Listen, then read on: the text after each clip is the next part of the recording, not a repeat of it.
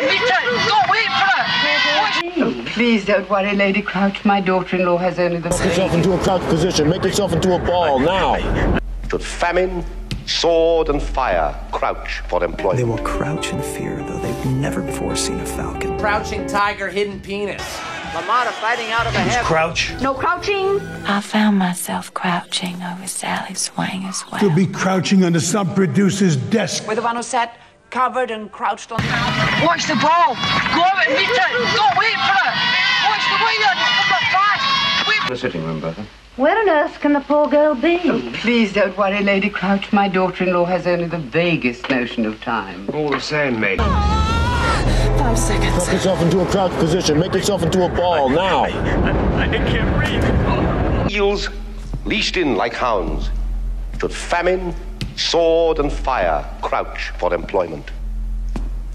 But Baby birds is immediate. They will crouch in fear, though they've never before seen a falcon. Without any instruction. Back there, I'm gonna show you something I call crouching tiger, hidden penis. Did you ever see Look, people. LaMotta fighting out of a half crowd. Reeves is up against a tough. This, you squat like this.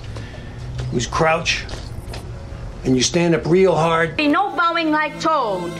No crouching, no crawling. I found myself crouching over Sally Swain as well. Three years ago, if it weren't for me, you'd still be crouching under some producer's desk. I pulled you out from under. Or I must still be in the asylum. With the one who sat covered and crouched on the floor because she wasn't born yet. I pissed myself like an idiot child crouching in the dirt. Knowing that Crystal here, right, and the little man would crouch in there, and then his voice would reverberate inside the body.